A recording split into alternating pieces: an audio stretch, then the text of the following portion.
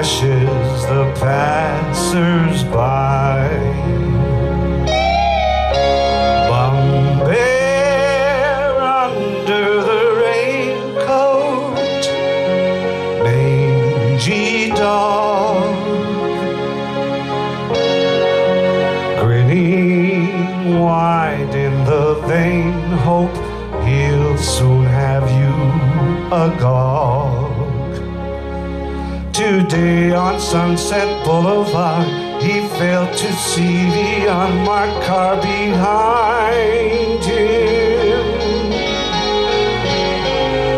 He opened up and let it flop. Now downtown with the LA cops is where